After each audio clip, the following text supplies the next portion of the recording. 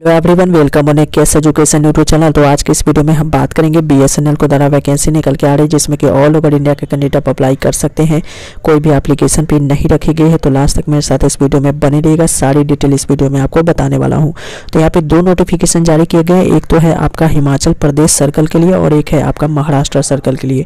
तो दोनों ही नोटिफिकेशन के बारे में आपको यहाँ पे बताऊँगा। तो लास्ट तक बने रहिएगा वीडियो में। तो इसको ऑफिशियल नोटिफिकेशन पे हम आ चुके हैं। नोटिफिकेशन आपका एचपी सर्कल यानी हिमाचल प्रदेश सर्कल के द्वारा यहाँ पे जारी किया गया है बीएसएनएल में तो यहाँ पे देख सकते हैं इसमें अप्लाई का डेट यहाँ पे दिया गया कि 10 जनवरी 2022 लास्ट डेट यहाँ पे रखा गया अप्लाई का तो आप 10 जनवरी तक यहाँ पे अप्लाई कर लीजिएगा अब यहाँ पे बात करते हैं कि यहाँ पे जो है कौन कौन सी वैकेंसी कहाँ निकाला गया है तो बिज़नेस एरिया आप यहाँ पे देख सकते हैं कि शिमला में जो है चार वैकेंसीज है इसी तरह से धर्मशाला सोलन हमीरपुर मंडी में यहाँ पे टोटल वैकेंसी की बात करें तो सिक्सटीन निकाली गई है और क्वालिफिकेशन यहाँ पे ग्रेजुएट या डिप्लोमा पास आउट यहाँ पे अप्लाई कर सकते हैं सब्जेक्ट फ़ील्ड की बात करते हैं तो कंप्यूटर या फिर आईटी या इलेक्ट्रॉनिक्स या फिर आपने इलेक्ट्रिकल या इलेक्ट्रिकल एंड इलेक्ट्रॉनिक्स या टेलीकम्युनिकेशन से आपने या यहाँ पे ग्रेजुएट या फिर डिप्लोमा का कोर्स किया हुआ है तो आप यहाँ पे अप्लाई कर सकते हैं। अब यहाँ पे एलिजिबिलिटी कंडीशंस की बात करते हैं तो केवल इंडियन कैंडिडेट यहाँ पे ऑल ओवर इंडिया से आप अप्लाई कर सकते हैं, लेकिन ध्यान रखें कि आपने जो डिग्री कंप्लीट की हुई ग्रेजुएट या डिप्लोमा कोर्स आपने एक चार दो के बाद आपका कंप्लीट होना चाहिए, यानी कि दो बीस और इक्कीस पास आउट वाले ही यहाँ पे एलिजिबल हो पाएँगे। और यहाँ पे एज लिमिट की बात करते हैं तो मैक्सिमम एज पच्चीस से ज़्यादा आपका नहीं होना चाहिए, जो कि 30 दिसंबर 2021 के अकॉर्डिंग आपका काउंट यहाँ पे किया जाएगा। सिलेक्शन की बात करते हैं तो आपका जो भी मार्क्स ऑप्टेंड होगा स्किल टेस्ट में इंटरव्यू में, उसके आधार पर आपका यहाँ पे सिलेक्शन किया जाएगा।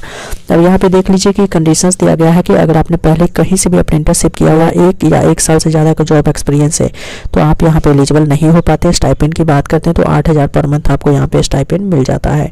आगे बात कर लेते हैं, कैसे आपको अप्लाई करना था। अप्लाई करने के लिए आपको सबसे पहले M H R D next dot जो भी डॉट इन के पोर्टल पे जाना है, यहाँ से अप्लाई करेंगे, उसका लिंक जो डिस्क्रिप्शन में आपको मिल जाएगा। तो जैसा कि सिलेक्शन प्रोसेस मैंने आपको बता दिया कि आपका इंटरव्यू या स्किल टेस्ट के आधार पर होगा। एप्लीकेशन भी यहाँ पे नहीं रखेगी, कोई भी एप्लीकेशन भी आपको नहीं लगेगा। तो यहाँ पे ध्यान रखें, सारा प्रोसेस यहाँ पे दिया गया है जनरल इंस्ट्रक्शंस और यहाँ पे सारी जानकारी आपको देखने को यहाँ पे मिल जाएगी, कैसे अप्लाई करेंगे, इसका लिंक भी डिस्क्रिप्शन में आपको मिलेगा। और कौन कौन से डॉक्यूमेंट की आपको ज़रूरत पड़ेगी तो देख सकते हैं, आपको आधार कार्ड का फॉर्मेट जो है पीडीएफ में आपके पास अवेलेबल होना चाहिए वन एम से कम साइज़ का। इसी तरह से क्वालिफाइंग डिप्लोमा या प्रोफेशनल डिग्री जो भी सर्टिफिकेट आपके पास होना चाहिए, इसके साथ ही पासपोर्ट साइज़ फोटोग्राफ्स यहाँ पे फ़र्स्ट पेज और बैंक पासपोर्ट या बैंक अकाउंट स्टेटमेंट आपके पास होना चाहिए।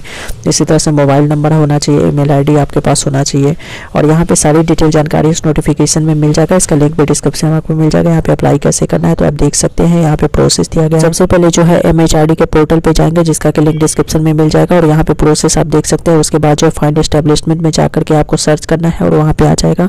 और वहाँ से आप इसमें अप्लाई कर सकते हैं क्लिक करके। अब यहाँ पे देख सकते हैं कि बाकी डिटेल जानकारी आपको यहाँ पे प्रोवाइड की गई। तो चलिए दूसरे नोटिफिकेशन पे चलते हैं, वहाँ से डिटेल्स आपको बताते हैं। तो यहाँ पे जो नोटिफिकेशन पे हम आ चुके हैं, जो कि यहाँ पे महाराष्ट्र सर्कल के लिए यहाँ पे जारी किया गया है, जैसा कि आप यहाँ पे देख सकते हैं, इस नोटिफिकेशन की अगर बात करते हैं तो इसका डेट जो है कम है टाइम आपके पास, उनतीस दिसंबर दो हज़ार इक्कीस तक के टाइम आपको दिया गया है तो इसमें आप अप्लाई कर सकते हैं ऑल ओवर इंडिया के कैंडिडेट अप्लाई कर सकते हैं, लेकिन ध्यान रखें कि वहाँ के लोकल कैंडिडेट को यहाँ पे प्रेफरेंस दिया जाएगा। और यहाँ पे मंथली स्टाइपेंड सेम यहाँ पे आठ पर मंथ आपको मिलेगा।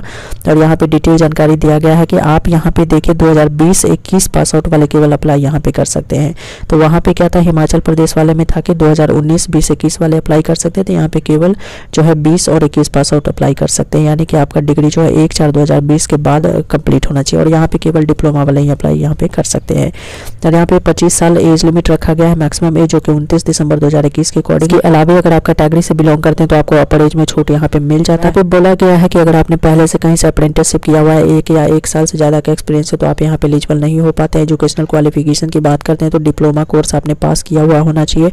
इलेक्ट्रॉनिक्स में इलेक्ट्रॉनिक्स एंड टेलीकम्युनिकेशन या कंप्यूटर या फिर आई ब्रांच में तो आप यहाँ पे एलिजिबल हो जाते हैं, जो कि एक चार दो के बाद ही आप पास आउट यहाँ पे होने चाहिए। सिलेक्शन की बात करते हैं तो यहाँ पे फाइनल परसेंटेज मार्क्स जो अपटेंड आपने किया हुआ है डिप्लोमा में और पर्सनल इंटरव्यू आपका होगा, उसके मार्क्स के आधार पर ही आपका सिलेक्शन यहाँ पे किया जाएगा। एप्लीकेशन फ़ी की बात करते हैं तो कोई एप्लीकेशन फ़ी आपको नहीं लगेगा कहाँ कहाँ कितनी वैकेंसी है, आप यहाँ पे चेक कर सकते हैं। अप्लाई करने के लिए सेम आपको एम एच आर के पोर्टल पे जाना है। वहाँ से आपको अप्लाई करना है और यहाँ पे देख लीजिए, सारा डिटेल जानकारी आपको यहाँ पे दी गई है।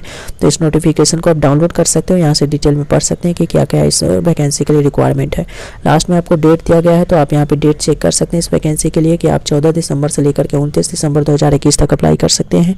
और तीन जनवरी दो हज़ार बाईस को यहाँ पे आपका डॉक्यूमेंट वेरिफिकेशन होगा और पाँच जनवरी को यहाँ पे जो है आपका सिलेक्शन लिस्ट आ जाएगा। तो दोस्तों अगर आप इसमें अप्लाई करना चाहते हैं एलिजिबल हैं अप्लाई कर सकते हैं। और पहली जो वैकेंसी मैंने बताई थी हिमाचल प्रदेश की, उसमें आप अगर अप्लाई करना चाहते हैं तो उसका डेट जो है दस जनवरी है। और इसमें अप्लाई करना चाहते हैं तो इसका डेट उनतीस दिसंबर दो हज़ार इक्कीस रखा गया है। दोस्तों, जैसा कि आप देख सकते हैं, अगर आप इस वैकेंसी पे आएँगे तो यहाँ पे आपको देखने को मिल जाएगी वैकेंसी ऊपर ही अनाउंसमेंट में तो यहाँ से आप क्लिक करके भी इस पर अप्लाई कर सकते हैं। तो आज के अपडेट में बस इतना ही। अगर वीडियो अच्छा लगा हो तो लाइक कीजिए, दोस्तों के साथ शेयर कीजिए। नया चैनल पे तो चैनल को सब्सक्राइब कीजिए। Thanks watching this video